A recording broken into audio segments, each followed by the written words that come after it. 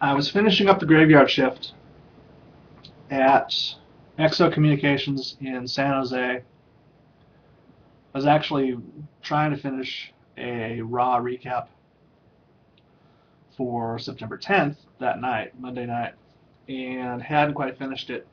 And for some reason, got really distracted by all the stuff that was going on, and it took me probably another day to finish it. That's it. San Jose.